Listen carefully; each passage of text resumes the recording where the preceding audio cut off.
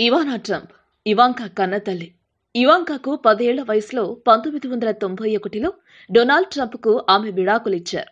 తన వయసులో సగం కూడా లేని రొసానాను రెండు వేల ఎనిమిదిలో ఇవానా పెళ్ళి చేసుకున్నారు. ఆ పెళ్ళి ఏర్పాటును తండ్రి డొనాల్డ్ ట్రంప్తో కలిసి ఇవాంకానే పర్యవేక్షించింది. కన్నతల్లికి దగ్గరుండి మరీ ముచ్చటగా మూడో పెళ్ళి చేసింది. ఆ తర్వాత ఏడాదికే ఆమె పెళ్ళి చేసుకున్నారు. డెమోక్రటిక్ పార్టీ తరపున హిలరీ క్లింటన్ రెండు వేల ఏడులో అమెరికా అధ్యక్ష పదవి రేసులో ఉన్నప్పుడు ఇవాంకా ట్రంప్ వెయ్యి డాలర్లు విరాళం ఇచ్చారు.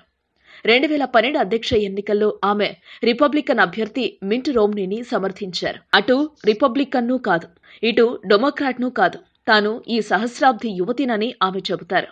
ఇవాంకా ట్రంప్ది విలక్షణ వ్యక్తిత్వం. ఫ్యాషన్ డిజైనర్గా రచయితగా వ్యాపారవేత్తగా టీవీ కార్యక్రమాల్లో జడ్జిగా వివిధ పాత్రలను పోషిస్తున్న ఆమె ఇప్పుడు అమెరికా అధ్యక్షుడికి సలహాదారుగా కొత్త బాధ్యతలు నిర్వహిస్తున్నారు. వీటన్నింటినీ చేపడుతూనే తన ముగ్గురు పిల్లల బాధ్యతలను స్వయంగా చూసుకుంటారు.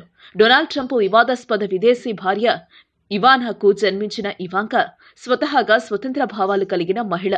ఇజ్రాయెల్ సంతతికి చెంది ఈజిప్ట్లో మూలాలు కలిగి ఉన్న జేడ్ కుషర్ను రెండు వేల తొమ్మిదిలో ప్రేమించి పెళ్ళి చేసుకున్నారు. కానీ ఆమె పెళ్ళికి మతం అడ్డంకిగా మారింది.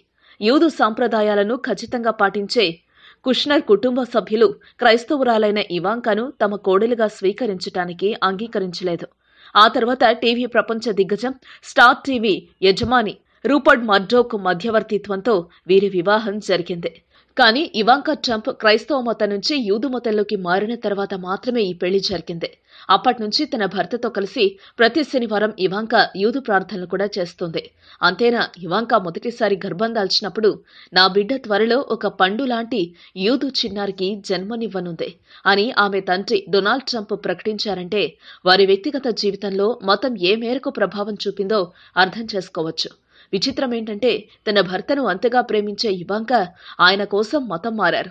కానీ తన పేరులో మాత్రం ఆయన ఇంటి పేరును చేర్చలేదు. ఇప్పటికీ తండ్రి ఇంటి పేరుతోనే కొనసాగుతున్నారు. మన దేశంలో చాలా మంది రాజకీయ నాయకురాళ్ళ తరహాలోనే ఆమె కూడా ఇవాంకా ట్రంప్గా గుర్తించటానికే ఆమె ఇష్టపడతారు. కానీ ఇవాంకా కుష్నర్గా మాత్రం కాదు. ఈ వీడియో మీకు నచ్చితే ఓ లైక్ కొట్టండి. మీ ఫ్రెండ్స్కు షేర్ చేయండి. ఇలాంటి డిఫరెంట్ వీడియోలను మరిన్ని చూడాలనుకుంటే మా యూట్యూబ్ ఛానల్ను సబ్స్క్రైబ్ చేయడం మాత్రం మరవకండి. సమాచారం కోసం మీడియా మాస్టర్స్ సబ్స్క్రైబ్ చేసుకోండి